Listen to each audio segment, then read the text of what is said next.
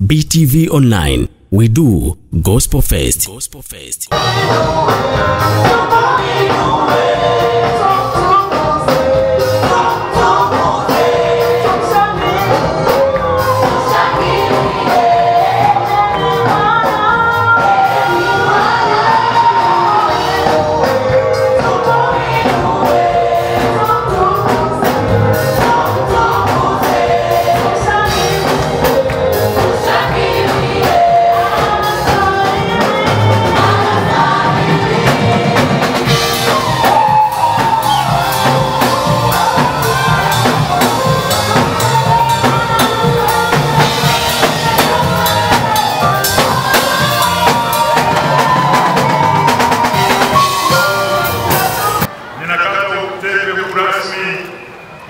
Kuzindua jiwe la msingi katika jina la Mungu Baba, Mwana na Roho Mtakatifu, tatu moja.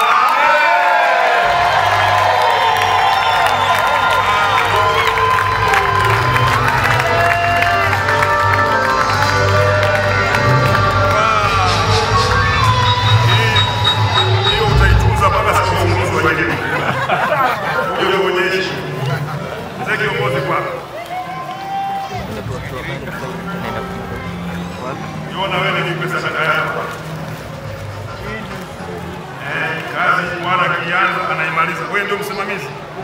Eh, sasa hii uta yani maana yake kwamba uwe nganga na nguvu mpaka ile hii. Nasikia utaileta hii. Haleluya. Jamani amina. Neno kuu sana. Neno kuu sana. Haleluya. Amen. Tanzania Assemblies of God, Calvary Temple Arusha. Jiwe hili la msingi limewekwa na askofu mkuu wa TAG Reverend Dr. Barnabas Weston Mtokabani tarehe 15 mwezi mwezi Julai mwaka 2019 chini ya maono ya Reverend Wilson na Linda Kimaro.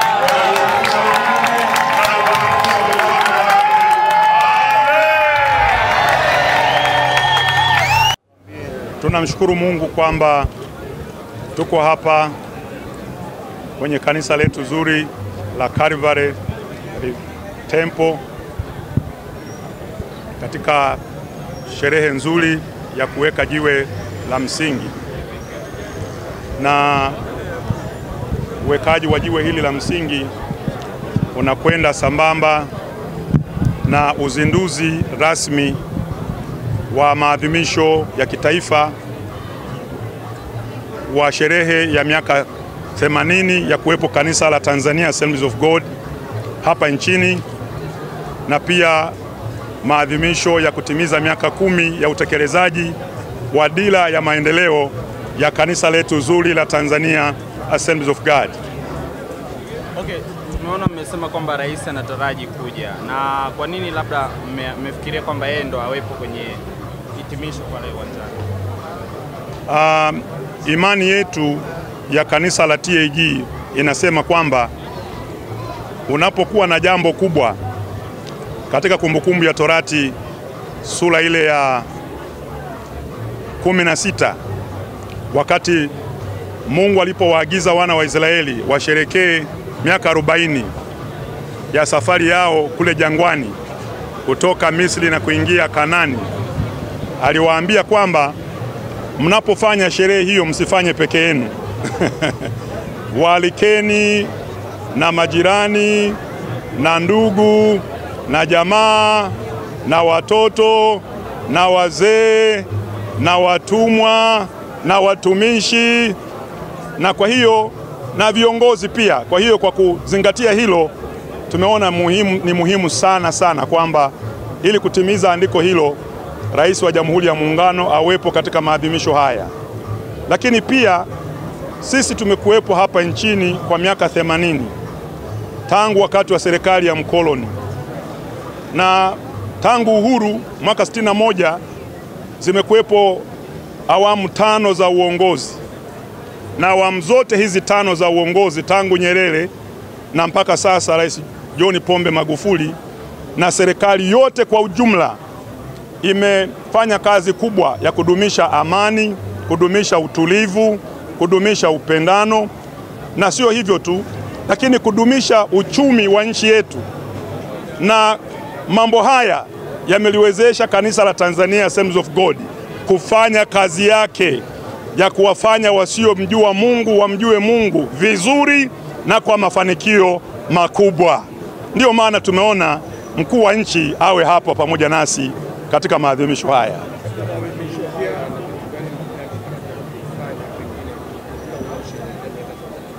Katika kusherekea miaka 80 ya kuwepo kwa kanisa letu, kuna mambo mengi makubwa ambayo yamefanyika katika ngazi mbalimbali mbali. Tumefanya kazi ya kuigusa jamii kwa kuchangia kutoa damu, kwa kuwasaidia watu wanaohitaji miwani au wenye matatizo ya macho. Tumekwenda masokoni, magereza, polisi na katika taasisi mbalimbali za umma kutoa misaada mahospitalini na kufanya kazi za usafi kwa kujitolea nchi nzima. Katika maadhimisho haya hapa Arusha tutafungua visima viwili vya maji. Pia e, watu wenye matatizo ya macho watapimwa na kupewa misaada ya miwani zaidi ya elfu mbili. Lakini sio hivyo tu, lakini shule za msingi zipatazo tano zitatembelewa na watapata vifaa mbalimbali ambavyo wanafunzi wanaweza kuvitumia katika masomo yao kama kalamu, madaftari, e, karatasi, lakini pia tablet na hata kompyuta.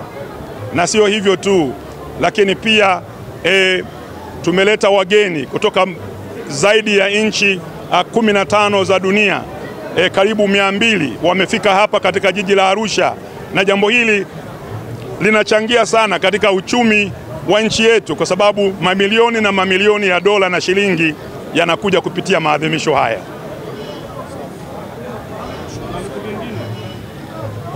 Injinia, Asante, asante Baskofu. asante. Eh, sasa hizo kompyuta sijui tutapata na sisi Baba, itabidi tuonane naye baada ya hapo nje. eh, Jengo hili ni la kisasa sana kwa makanisa yetu ya TAG. Hili ni jengo la kwanza la mfano wake katika nchi yetu yote ya Tanzania na- na naamini pia hata Afrika Mashariki. Ni jengo la mfano, jengo la kipekee ambalo limechukua vitu vingi, mbali kwamba lina sehemu ya kuabudia, pia lina sehemu ya kitega uchumi. labda kumbi ambazo zipo hapa zinaweza zikatumika pia kwenye uh, uh, zi- wanaita utalii wa ukumbi, unaweza zikatumika pia. ya kwa sababu ile jengo la ghorofa kumi ni kitega uchumi, lina huduma za kufanya biashara kwa, kwa maana ya kumbi na sehemu za kulala na sehemu za mikutano. Kwa majina yangu naitwa Mrs. Sara Panga. Siku ya leo ni siku ya pekee, ni siku kuu sana. Mimi kibinafsi namshukuru Mungu, tumeuona mkono wa Bwana hadi ametuwezesha kufikisha kuwa na jengo kama hili, ni utukufu kwake. Mimi ninachokiona upande wangu, tutafanikiwa kuwa na ibada ya pamoja katika jengo hili. Naitwa Matthew Joseph Liatu na mimi ni mmoja wa washirika hapa na pia ni mzee wa kanisa. Na kukamilika kwa hili jengo kutaleta fursa mbalimbali kwa sababu jengo lenyewe lina, lina limewekwa katika misingi ya kuona kwamba eneo lingine litakuwa la uwekezaji na eneo lingine lila ibada ambalo ni hili la upande wa mbele na upande wa kule kutakuwa na maofisi, kutakuwa na maeneo ya kufanya shughuli mbalimbali za kiuchumi pia. Kwa hivyo litaongeza fursa katika mji wetu huu wa Arusha. Kama washirika, matarajio yenu ni nini? Matarajio yetu ni kwamba tunajenga pia jengo hili kwa sababu kuna maongezeko ya washirika pamoja na wale ambao wanakuja kama washirika wapya. Sasa maongezeko yamekuwa makubwa kiasi ambacho kutokana na kanisa dogo tunalo sasa, tuna ibada tatu na zote zinajaa mpaka nje. Kwa hivyo tumeona kabisa kwamba uhitaji wa kuwa na sehemu kubwa zaidi umekuwa ni mkubwa kiasi ambacho tunaendelea kuona kwamba jambo hilo linatimia. BTV Online Gospel Fest.